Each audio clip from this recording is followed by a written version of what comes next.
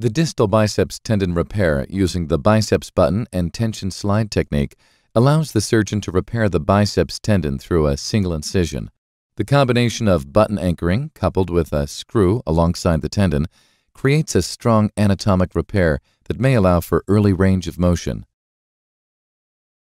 An incision is made over the skin in the area of the distal biceps attachment near the elbow.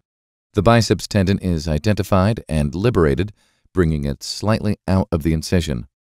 The tendon is repaired by removing any weak or degenerative tendon. The end of the tendon is sutured using a baseball stitch technique. The two strands of suture are passed through a metal button in a specific pattern. A guide pin is drilled through the natural attachment of the biceps tendon on the radius.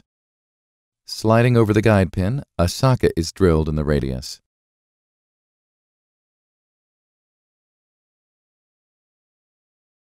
The button is then passed through the socket and comes out the opposite end of the tunnel.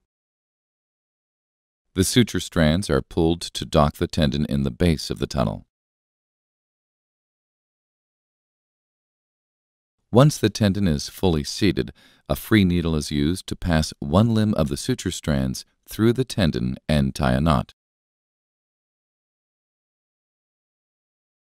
A screw is inserted into the tunnel to help recreate the anatomical footprint and for added strength of the repair.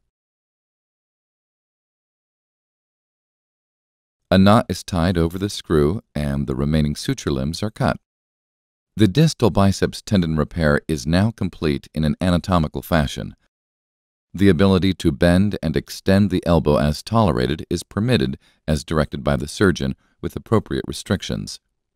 Most patients have full range of motion at the final follow-up with the doctor.